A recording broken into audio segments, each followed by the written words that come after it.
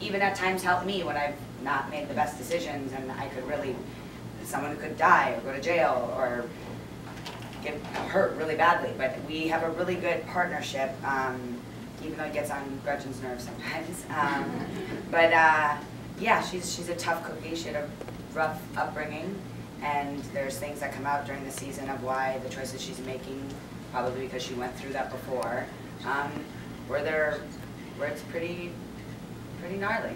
Well, and I love to, as an, uh, you know, person outside of that storyline, I do love the fact that each character has had um, circumstances in their life that have got them to this point. John lost a child. Gretchen also has been through so many other things, and so her need to help comes from a different place, but it aligns completely with his purpose, which I think is so great. Yeah. Thank you. Thank you so Thank you much. much.